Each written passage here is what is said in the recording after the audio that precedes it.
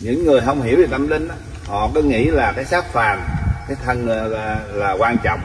Nhưng mà thật sự cái linh hồn mới là quan trọng. Cái linh hồn là chủ cái xác là tớ mà đa số những người bận rộn chạy chỗ này chạy chỗ kia mà không hiểu về tâm linh cứ cho cái xác thì là chủ cái linh hồn là tớ linh hồn là gì? Cái linh hồn là nó nó cần có sự an bình và cần có sự lắng động để mình hiểu sâu sắc một ngày mình làm những cái việc gì đúng việc gì sai. Còn cái thể xác nó chỉ chạy theo những cái công việc. Và rồi riết nó làm theo cái linh hồn đó, cũng phải bị lệ thuộc nó.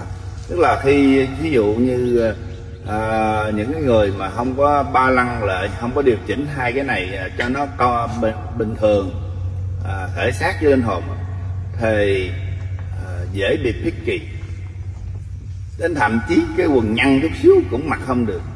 Hay là đội cái nón xéo chút đó cũng thấy bực nữa. Đó thì là lúc đó mình, là mình biết cái linh hồn của mình nó bị ép dữ lắm rồi. Nó mới nó mới picky ra như vậy. Còn nếu mà mình chịu mỗi một ngày khi mình bị căng quá, thì mình chỉ ngồi thiền nửa tiếng trước khi ngủ, mình sẽ khó có bị bệnh và đột đột tử. Cái thể xác cần có